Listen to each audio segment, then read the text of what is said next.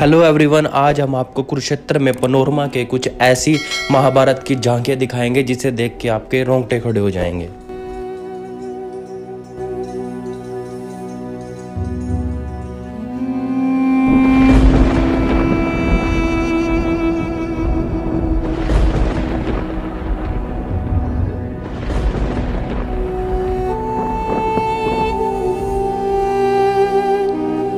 महाभारत का युद्ध पूरे 18 दिनों तक चलने वाला एक महाविश्व युद्ध था।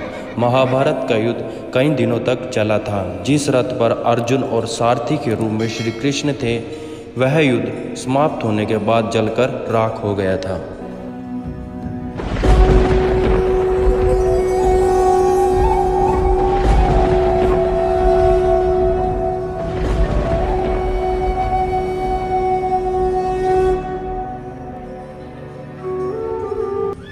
महाभारत युद्ध में करीब सवा करोड़ योद्धा सैनिक वीर गति को प्राप्त हुए थे।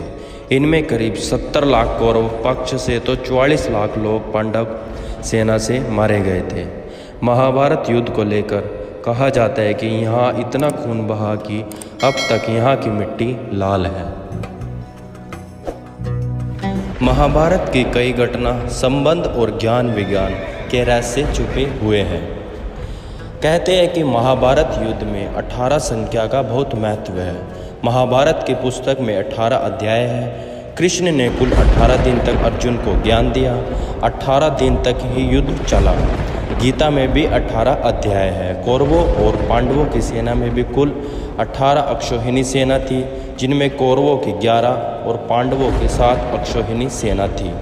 इस युद्ध के प्रमुख सूत्रधार भी 18 थे। इस युद्ध में कुल 18 योद्धा ही जीवित बचे थे।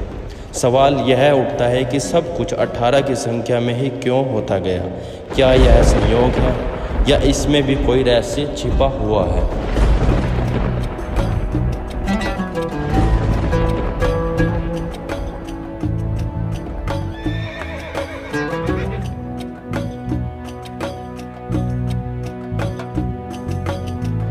अगर आपको मेरी ये वीडियो अच्छी लगी हो तो प्लीज़ मेरी वीडियोस को लाइक करें और चैनल को सब्सक्राइब करें।